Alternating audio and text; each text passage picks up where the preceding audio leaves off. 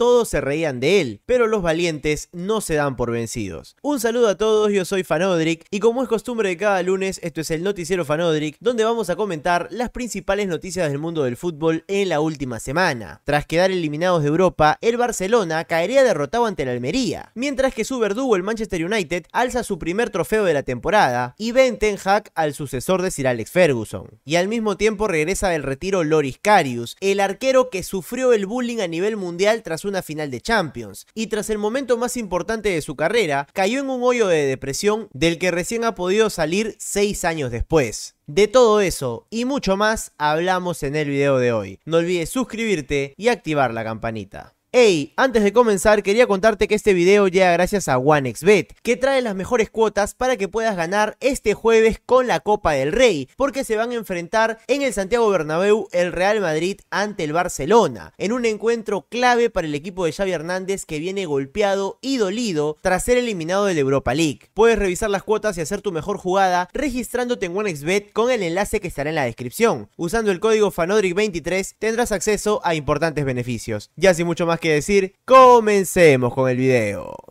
Y para no perder las buenas costumbres, vamos a arrancar en el barrio de los Rolling Stones, porque esta semana se jugó la final de la FL Cup. El Manchester United se enfrentaba a las urracas del Newcastle, y los dirigidos por Ten Hag han tenido una semana redonda. Jugando por Europa League, dejaron fuera al Barcelona con dos goles brasileños, de Fred y Anthony. Y este domingo no va a ser la excepción porque el United ganó su primer título en la temporada, probablemente la copa que menos importa, la Carabao Cup, pero de todas formas es un título que suma las y el primer gol del partido llegaría a los 32 minutos. Volvería a ser brasileño tras un centro de tiro libre de Luke Shaw. Casemiro ganó de cabeza y ponía la ventaja para los Diablos Rojos. Y antes de irse al descanso, Marcus Rashford pudo poner el segundo, pero su remate se estrelló en el defensa del Newcastle y se va a considerar autogol de Botman. Con esta victoria, Ten Hag ha conseguido su primer título como técnico del United. Y en Inglaterra ya lo posicionan como el sucesor de Sir Alex Ferguson, que por tanto tiempo buscó el Manchester United. En la semana se les vio reunidos en un restaurante, prueba de que Sir Alex nunca se alejó ni se alejará mientras tenga vida del Manchester United, y le dejó un par de consejos que sin lugar a dudas le han servido en esta semana. Y un detalle adicional para mencionar del partido entre el Manchester y el Newcastle es la reaparición de Loris Karius, sí, aquel arquero alemán que terminó sepultado y marcado para siempre con sus errores en la final de Champions entre Liverpool y Real Madrid. Karius ha regresado después de dos años a la actividad profesional, siendo arquero arquero del Newcastle en esta final. Y a pesar de la derrota, no se puede decir que jugó un mal partido. Muchos estuvieron atentos a ver si cometió un error. Y la realidad es que fue la figura del Newcastle, asegurándose que el resultado final no fuera una goleada. Y ahora como nuevo jugador de las Urracas veremos qué hace de su carrera Loris Karius, que tuvo que luchar contra una fuerte depresión para poder continuar con su carrera. Y ahora pasamos a hablar del puntero de Inglaterra porque el Arsenal visitó el King Power Stadium para enfrentarse a Leicester City. Los dirigidos por Brendan Rogers están viviendo una temporada muy irregular y con esta última derrota se pueden complicar con el descenso, mientras que los Gunners estaban obligados a conseguir la victoria para mantener su ventaja sobre el Manchester City. Y van a ganar el partido por la mínima diferencia con dos goles anulados además, porque en el primer tiempo, Leandro Trossard aprovechó el rebote de un córner y desde la media luna destrozó el arco de Daniel Ward. El problema es que van a anular este golazo por una falta previa al arquero. De todas formas, apenas regresaron del descanso, Trossard va a poner un balón en profundidad para Martinelli y el brasileño pondrá el gol de la victoria para el Arsenal, que se mantiene como líder de Inglaterra. Y esto a pesar de la goleada del Manchester City, que visitó el estadio del Bournemouth, un equipo que está en zona de descenso y es firme candidato para regresar a la segunda la próxima temporada. Fue un encuentro tan fácil que el City se fue goleando 3 a 0 en el primer tiempo, con dos goles de rebote, uno de Julián Álvarez y otro de Erling Haaland pero como si no fuera ya suficiente ventaja, uno de los jugadores del Bournemouth, Billing, se encargó de regalarle el tercer tanto a Phil Foden. Le dio una asistencia preciosa para que el inglés firme la goleada. 4 a 1 fue el resultado final y el Manchester City se mantiene al acecho del Arsenal. Y mientras estos dos clubes se pelean por la Premier, otros dos han entrado en decadencia y se nota, empezando por el Liverpool de Jürgen Klopp que visitó la cancha del Crystal Palace. El noticiero pasado comenté que parecía haber una mejora en el Liverpool, pero todo esto se termina terminó cuando cayeron goleados en Anfield ante el Real Madrid. Incluso empezaron ganando 2 a 0, pero todo se derrumbó cuando el Madrid despertó y pisó el acelerador. Y las consecuencias de esa goleada es que Liverpool ha vuelto a ser un equipo irregular y del levantón que pegaron la semana pasada, esta vez han empatado sin goles ante el Crystal Palace, desaprovechando la oportunidad de acercarse a puestos de Champions. Pero si el Liverpool está mal, el que está muchísimo peor es el Chelsea, que dirigido por Graham Potter está condenado a no jugar ninguna competencia europea la próxima temporada. Este domingo visitaron el estadio de Tottenham y el equipo de Antonio Conte ganaría por dos goles a cero. El primero sería ni bien arrancar la segunda parte Enzo Fernández intentó despejar una pelota como pudo, pero el inglés Oliver Skip llegó a probar suerte, compró boleto de lotería y pegó un remate que podría haberse ido a las nubes, pero entró perfecto en el arco de Kepa, un auténtico golazo y de esos que solo pasan una vez en la carrera de este futbolista.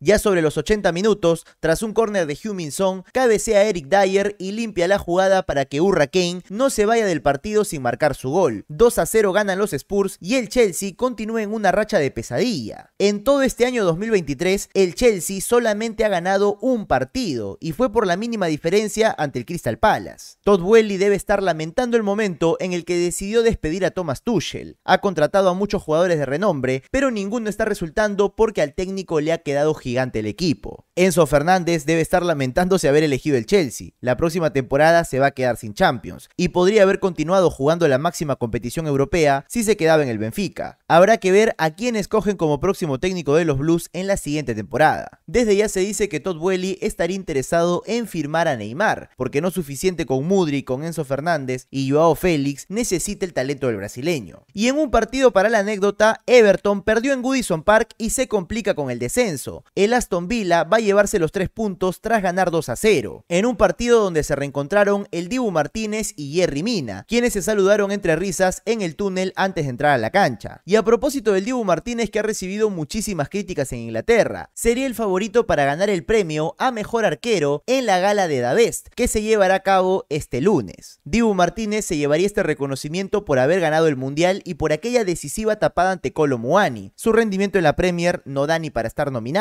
pero sin él Lionel Messi no habría podido conseguir la máxima corona. Para muchos esto es indignante porque quien realmente se lo merecía era Thibaut Courtois, quien ayudó a que el Madrid pueda ganar una nueva Copa de Europa y ha tenido un rendimiento mucho más regular, aunque su participación en el último mundial no le ayuda mucho. Habrá que ver si en la gala premian a Courtois o al Dibu Martínez, y si acaso ganar el argentino, ¿se atreverá a celebrar como hizo con el guante de oro en Qatar 2022? Habrá que estar atentos. La tabla de posiciones en Inglaterra ha quedado entonces de la siguiente manera. Se mantiene la ventaja del Arsenal incluso con un partido menos, pero aún falta el encuentro entre ambos en el Etihad Stadium. Mientras tanto, si pasamos a ver la parte de abajo de la tabla, las cosas están muy peleadas. Y desde el puesto 19 al puesto 13 van a pelear por la permanencia. Y ahora nos toca viajar a España porque en el Santiago Bernabéu se jugó el derby de Madrid. En la Casa Blanca recibían a los vecinos rebeldes dirigidos por el Cholo Simeone. En un partido que se pintaba muy complicado y donde el Real Madrid tenía la obligación de ganar para no perderle el paso a Barcelona. La Casa Blanca venía con la moral a tope después de golear a Liverpool, pero a los colchoneros les encanta hacerle la vida imposible. Y este derby además va a traer mucha polémica, porque apenas a los 5 minutos hubo una mano en el área de Federico Valverde que el Atlético reclamó como penal, y el árbitro Gil Manzano dijo que no podía cobrar penal porque la mano había chocado tras un rebote. Pero en las redes sociales se encargaron de recordarle que ha pitado una jugada idéntica en otro partido entre Almería y Valencia. Parece que no usó el mismo criterio con el Real Madrid. Vamos a pensar que quiso corregir su error del partido anterior, pero no va a ser la única polémica, porque en el segundo tiempo el Cholo Simeone hizo ingresar al argentino Ángel Correa, quien a los 63 minutos se va a ir expulsado por una agresión sobre Antonio Rudiger. El alemán lo estaba marcando muy de cerca y el argentino le tiró un codazo para sacárselo de encima. Pero en la realidad no fue tan fuerte como parecía. Rudiger se desplomó como si lo hubieran intentado matar. Y la realidad es que Correa y apenas lo empujó un poco, aunque le podría haber sacado el aire de haber sido un golpe en la boca del estómago. El árbitro no lo duda y le saca la roja directa, en una decisión que varios han considerado muy drástica. Lo cierto es que a pesar de jugar con uno menos, el Atlético de Madrid va a conseguir el primero con una jugada de memoria. Un tiro libre de Antoine Grisman y un centro al área que es conectado por Josema Jiménez. El uruguayo ponía el gol de la victoria a los 77, o al menos eso era hasta el minuto 84, porque va a aparecer de cabeza otro uruguayo, no tan conocido pero que está dando sus primeros pasos en Europa. Tras un córner de Luca Modric, Álvaro Rodríguez, de apenas 18 años, conectó de cabeza ganándole a toda la defensa del Atlético y poniendo el empate 1 a 1 para la Casa Blanca, marcando su primer gol como profesional en un derby de Madrid. Viene de ser un jugador destacado en el último sudamericano sub-20 y Ancelotti ya decidió mandarlo al ruedo. Y es así como el clásico de la capital española termina empatado por culpa de dos uruguayos. Y ahora toca hablar del Barcelona, que con este último resultado tenía la mesa servida para sacarle más puntos de ventaja al Real Madrid y sentenciar la liga. Sin embargo, parece que la eliminación de Europa League ha golpeado la confianza de los jugadores de Xavi, cayendo derrotados 1 a 0 ante Almería. Los catalanes jugaban de visita pero eran favoritos ante un rival que estaba en zona de descenso. Pero a los 23 minutos esto no va a importar, porque Gaby pierde una pelota en ataque y el Almería va a resolver todo en tres acciones. Tras el quite mandan un pelotazo largo para su 9. El Bilal Touré baja la pelota para el colombiano Luis Suárez, quien ve desmarcarse a su compañero y pone el balón en profundidad para que el mismo Bilal Touré defina ante Ter Stegen y marque el único gol del partido, dándole tres puntos a la Almería que le sirven para salir de la zona de descenso. Mientras que el Barcelona tuvo más de una hora para conseguir el empate, pero ninguna de sus estrellas estuvo fino de cara a puerta. Continúan siendo líderes en la Liga Española, pero su ventaja sobre el Real Madrid se ha recortado a tan solo 7 puntos, desaprovechando una gran oportunidad de sacar más ventaja. Y es que parece que la eliminación sí los ha afectado porque continúa su trauma en Europa, y tendrán que pasar la página rápido porque el jueves visitarán el Santiago Bernabéu por la ida de la Copa del Rey. Esta Copa y la Liga son los únicos trofeos que podría ganar el Barcelona en esta temporada, y el equipo de Ancelotti se quedó con la espina clavada tras la última Supercopa, por lo que buscarán revancha en su estadio este jueves y por la Copa del Rey. Un partido que vale la pena sentarse a ver. Y ahora toca viajar por el país de la bota, donde el líder continúa siendo el Napoli de Luciano Spalletti, que cada día está más cerca de conseguir un escudeto que no logran ganarlo desde el año 1990, cuando Maradona le otorgó su última corona al equipo del sur italiano. Han pasado de admirar a un argentino a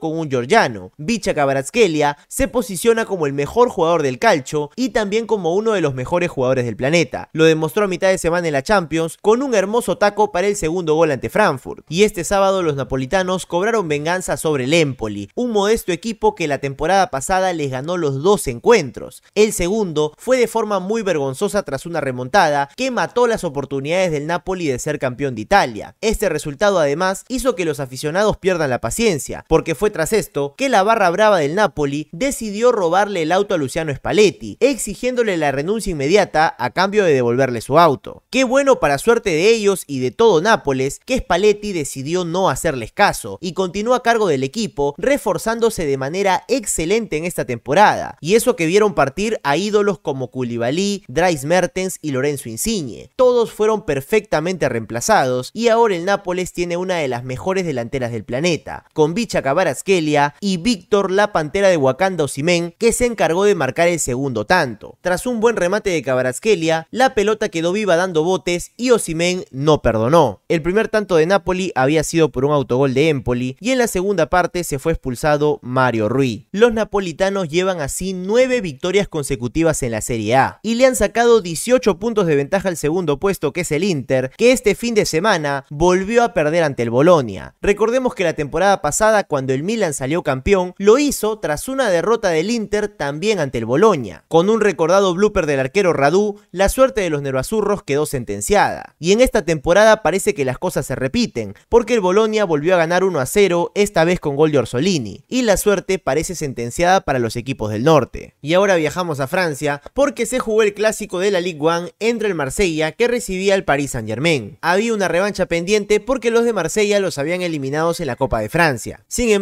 Kylian Mbappé y Lionel Messi salieron muy motivados y van a ser ellos quienes marquen los goles y las asistencias en la goleada del equipo catarí que dice ser parisino. Doblete de la Tortuga y un pase gol para Messi, quien aprovechó el servicio y además le daría dos asistencias. De esta forma, ambos futbolistas que protagonizaron la final del mundo llegan a la gala del premio Da Best, entregado por FIFA y donde competirán con Karim Benzema para ver quién es consagrado como el mejor jugador del año 2022. Recordemos que para el Balón de Oro no se consideró la Copa del Mundo y antes del torneo se le entregó la distinción a Karim Benzema. Hay mucha controversia con respecto a quién debería ganarlo. Para la mayoría es un hecho que lo ganará Messi después de ser campeón del mundo, pero hay quienes consideran que debería ganarlo Mbappé o Karim Benzema por la campaña que hizo con el Real Madrid. Y ya que ganó el Balón de Oro, ¿por qué no ganaría el premio de Best? Pero seguramente para cuando estés viendo este video, Lionel Messi haya sido consagrado con el premio de Best. Y ahora pasamos a hablar rápidamente de la actividad de los peruanos en el exterior, especialmente de Paolo Guerrero, que volvió a jugar con Racing Club, pero esta vez un partido por la Copa Argentina. La academia se enfrentó a San Martín de Formosa, un equipo de tercera división. Empezarían perdiendo, pero los dirigidos por Fernando Gago remontarían el partido, ganando por 3 a 1. Y el tercer gol sería el reencuentro de Paolo Guerrero con las redes. Al minuto 89 y tras un tiro libre de Rojas, la pelota quedó viva y sin arquero Paolo Guerrero conectó de cabeza para marcar su primer gol con la camiseta de la academia. Quizás el rival no haya sido muy exigente, pero es un buen comienzo para Guerrero, que está buscando desesperadamente que Juan Reynoso lo llame para los amistosos ante Marruecos y Alemania. Y bueno, eso ha sido todo por el video de hoy. Muchas gracias por haberme acompañado hasta este momento en una nueva edición del Noticiero Fanodric, donde como siempre intentamos resumir todo lo que aconteció en el mundo del fútbol para que arranque la semana enterado de todo. Si por ahí hay algún detalle que me faltó, una noticia que me olvidé, házmelo saber en los comentarios que te voy a estar leyendo. No olvides suscribirte y dejar un like si este video te ha gustado. Aquí hay otras opciones que te pueden interesar. Ya sin mucho más que decir, me despido y conmigo será hasta un próximo video.